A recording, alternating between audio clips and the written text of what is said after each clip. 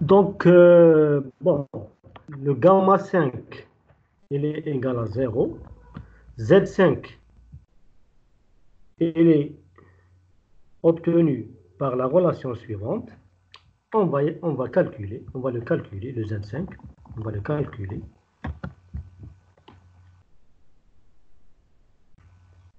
Voilà, donc il est égal euh, A4 fois Z4 moins Y4.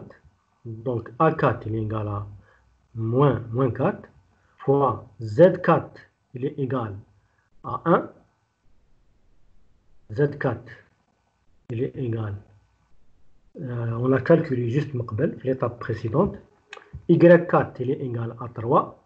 On divise ça sur on divise ça sur euh, A4 qui est égal à moins 4 gamma 4, on vient de le calculer, il est égal à 0,5. B4, B4, il est égal, B4, il est égal à A5. Donc Z5, il est égal à 1.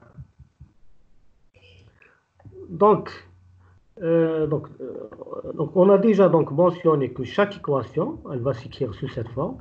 1 pour i égale à 4, donc vous allez avoir x4 plus gamma 5 égale à 0 égale à z5. D'accord? Si on prend dans cette relation i égale à 4, donc vous allez avoir x4 plus gamma 5 x. Euh, donc il n'y a pas le x5. c'est 0. c'est 0. Donc on aura directement, directement x4 égale à z égale à à Z5 égale à Z5.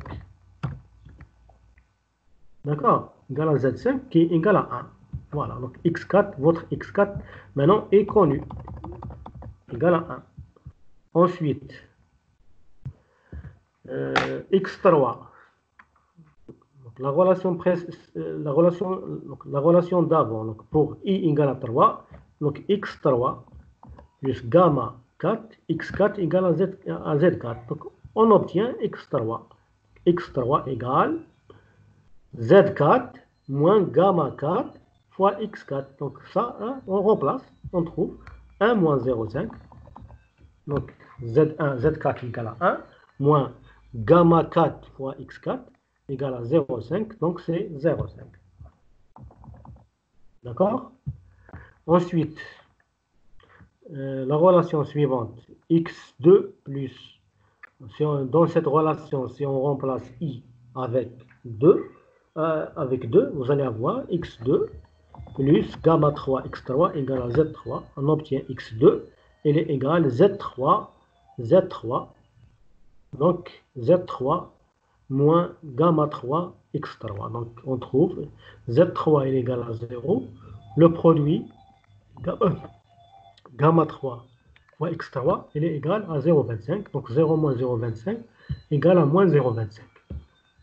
Je reviens, je remonte maintenant la première équation. dans cette relation, donc, si on obtient, si on, prend x1 égale à 1, d'accord? Égal à 1, ah, ça va être x1 plus gamma 2, x2. Donc, la première relation devient comme ça. Donc, l'inconnu qui reste, c'est x1. x1, il est égal à z2 moins gamma 2 x2. Donc, z2, c'est 2. Et le produit, gamma 2, x2, hein, ils sont connus, c'est 0. Le produit, parce que gamma 2 égale à 0. Donc, x2 égale à 2 moins 0 égale à 2. Donc, voici donc ce qui est écrit en rouge. C'est votre solution du problème. C'est votre solution du problème voilà, ainsi donc on termine euh, notre TD. Donc euh, merci donc pour votre attention et à la prochaine et à, la prochaine séance de, de TD. Merci.